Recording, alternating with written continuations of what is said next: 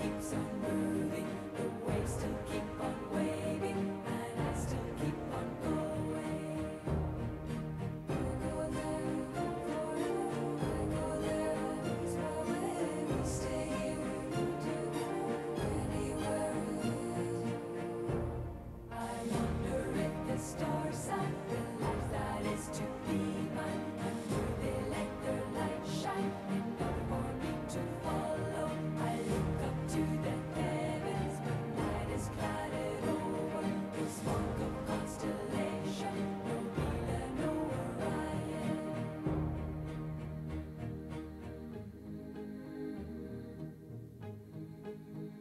Se la leggibilità dell'opera d'arte è una leggibilità razionale, nel mio caso, spiegando appunto quello che io dicevo prima, cioè che si tratta di fare un'analisi a posteriori di un'opera che invece ha dei contenuti a priori, rimane comunque il- il- il momento della lettura estetica. La lettura estetica non ha bisogno di eh, rapporti eh, razionali con l'opera e quindi prescinde dalla cultura o dall'età o dalla capacità di giudizio del di chi guarda, Eh, rimane eh, un'opera che si offre sul piano emozionale come bella o non bella. Alla fine l'arte propone in assoluto, al di là di qualsiasi forma di eh, poetica personale, propone la bellezza come mandato. Ecco, di fronte a questo si recupera quella chiave universale che poi eh, avvicina anche l'uomo più timido alla lettura dell'opera.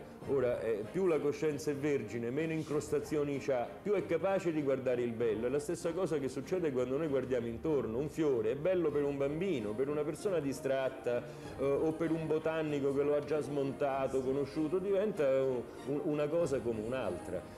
Quindi di fronte eh, all'opera il rapporto estetico migliore si ha quando si ha ancora, capaci, eh, si ha ancora la capacità di contemplazione. E la capacità di contemplazione o la si ha da bambini o la, la si recupera da adulti attraverso un grande sforzo di disincrostazione. Quello che è successo anche a me in fondo, no? Sono entrato nel mio mondo in maniera drammatica dalla porta di un'accademia scientifico e tecnologica estremamente metodicista e razionalista e ho dovuto fare uno sforzo enorme di anni per rompere tutti quegli involucri, quelle croste che avevano impedito fino ad allora ad una vocazione di emergere. Ma è proprio questo il senso di tutta la prima parte del mio lavoro, la denuncia dell'inautentico, la rottura del guscio di me stesso, che poi è quello che alla fine diventa universale. Non, non è stata una, una mia esperienza personale e basta. Nel momento in cui viene tradotta in cifra diventa il possibile o il pensabile di chiunque nel nostro mondo occidentale guardi con nostalgia a quel se stesso profondo che la cultura o la consuetudine della vita contemporanea ha cancellato o pressoché soffocato.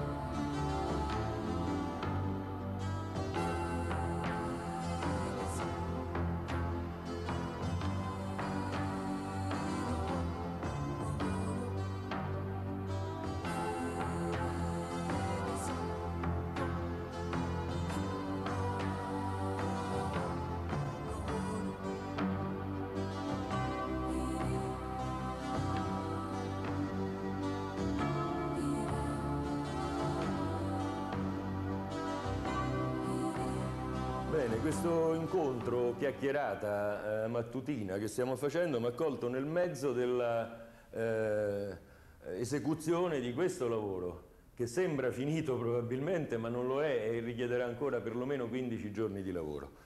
Adesso il lavoro è leggibile perché è completamente esteso nella sua eh, composizione eh, prospettica e nel rapporto del, eh, dei colori però deve essere ancora completato come dipinto. Ora, come si arriva a questo punto? A questo punto io ci arrivo attraverso una prima fase di elaborazione che è la stesura dell'opera nella maniera più grossolana, eh, ma anche se già eh, abbastanza eh, definita, ma comunque non certo eh, quale la si vedrà all'ultimo. La prima fase del lavoro io la svolgo in piano, cioè la tela non è montata sul telaio, la tratto come trattavo all'origine i miei fogli da disegno. Ci disegno sopra, eh, ci dipingo tutte le strutture che io ho già eh, previsto attraverso un bozzetto precedente che è il più perfetto possibile e, e la lavoro in piano su un grande tavolo facendo scorrere la tela eh, lungo i bordi del tavolo per raggiungere i posti altrimenti non raggiungibili. Una volta che l'immagine è del tutto eh, completata, eh, la monto sul telaio e qui comincia il dipinto, il quale ha ancora due fasi, di cui qui vediamo eh, quella intermedia e anche in parte l'ultima. Per esempio questa figura qui dell'uccello è una figura completa, dove vedete l'ombra nascosta sotto i colori, quindi l'ombra qui è stata velata da un'ultima mano di colore che è quello definitivo e che dà alla figura la luce necessaria per essere eh, letta dall'occhio e, e dalla mente come spazio. Qui invece vedete delle figure non ancora completate. Ecco, qui questo è, è, è il momento che precede il prossimo, dove eh, la figura è nera, è molto nera, e qui c'è stata la seconda fase che è quella appunto dell'annerimento del quadro, il rinforzo delle ombre. A questa fase succederà quella della velatura col colore per cui questa figura finirà per essere come l'uccello o come questo cappello che voi vedete qui, che è uno dei cappelli già finiti, dove l'ombra è andata a finire sotto il colore e non più sopra. Ora tutto questo lavoro di velatura che è eh, la restituzione della luce al quadro e anche restituzione della profondità al quadro. Il mio quadro è molto prospettico, specialmente questo, è fortemente prospettico. Il restituire la luce ai primi piani o il rinforzare le ombre nei piani lontani aumenterà la profondità di questo lavoro. Quindi non è soltanto una faccenda di linee o di geometrie o di prospettive, ma è anche una faccenda di luci ed è soprattutto in questa fase che il quadro diventa un'opera d'arte e non più un disegno eh, fatto da un, da un geometra o da un architetto o da un tecnico.